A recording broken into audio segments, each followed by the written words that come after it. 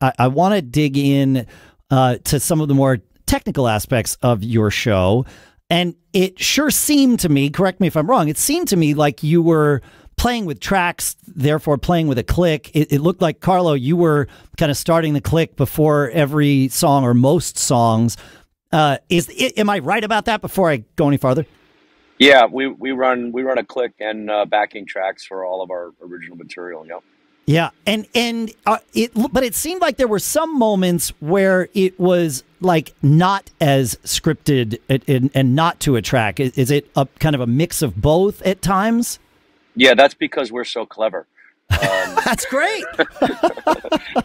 we uh, well, you know, listen, Dave. To me, two things are happening, right? So we're either we're either on the click or uh, we uh, we lost it and I turned it off, and we're just kind of free forming. So got it. it's, it's hard to tell, but there is a, a fair amount of um, wizardry going on with that, and uh, hopefully, we try to make it transparent to the audience.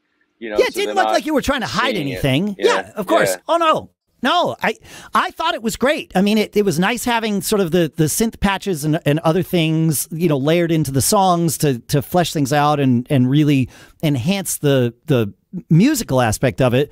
Um, and and and then me also just being like a musician and a nerd was like all right what's going on here and i start paying attention and it's like ah oh, i see okay that guy he's the one he's driving the bus with, at least in terms of the click and uh it, you know it, it was but like that's something as a band you need to learn how to do eric are you also hearing the click in your ears or carlo is it only you like how, how does that work out Currently, it's only Carlo. Yeah, and actually, you mentioned uh, in-ear monitors. I I don't use. I was not using in-ears that night. Right we right. don't. But um, yeah, I do. I find actually like in terms of interacting with the audience, which is a little harder in a room like Blue Ocean versus a smaller club. But um, I find having the in ears makes that a little harder, and I've had a hard time getting off. And Carlos, you know, he's ready to fire me for not wearing them. But um, uh, so it's only Carlo hearing the tracks. And, Got it.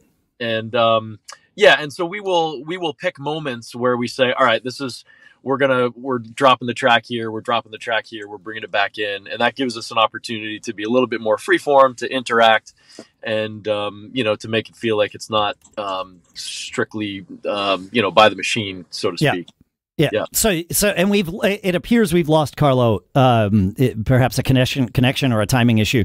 Uh, okay. So thank you to Carlo for for spending his time with us, and I'm glad I got at least that question uh, out before before we lost him. Uh, oh wait, he he might be coming back. Okay. Um, but. Uh, it, okay, so that's interesting. So you're all just staying in sync with with Carlo, and and Carlo is back. Uh, and and that's just how that goes. Is that right? Yeah, yeah, and we again, you know, we've done a lot of shows, whether cover shows or whatever, where we've done that, and so we've just grown accustomed to knowing when we're on and we're off, and we're largely following Carlo's lead on that, but knowing that it's coming.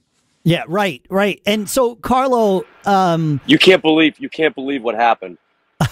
Speaking of tech technical issues, I mean, I can't make this shit stuff up. My, I was sitting in apparently too sunny of an area and my phone overheated and oh. turned off. Yeah. I'm not kidding. It said your your iPhone is too hot to operate. It will resume once it has cooled down. Too hot to operate sounds like the title of your next EP. Oh, I like it. It sounds one. like you know what it sounds like is my life. Too hot to operate. Um, so okay, so I, like Carlo, you mentioned that you're being aware of of the click in those moments, and if the band starts to drift too far off and you can't get everybody back, you just bail on the click and and just play the song like a band. How how long did it take you as a band until you, Carlo, were comfortable?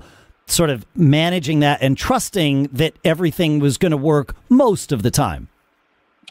Well, you know, that, I guess it was a process. I mean, I most of my career has been um, non-click related live, sure. and but but but as you know, all click related studio. So, you know, as a drummer, it's it's not a it's not a great issue. But when you right. are playing live, there are moments, especially given the dynamics of what Eric and and and Mark are doing up front, where sometimes it doesn't lend itself to that opportunity. So we actually there's a fair amount of time background town that goes into um, no, the, the whole band, I guess, is what I should say, knows where they're supposed to be uh, in regards to using the click. So we don't we don't stray too often.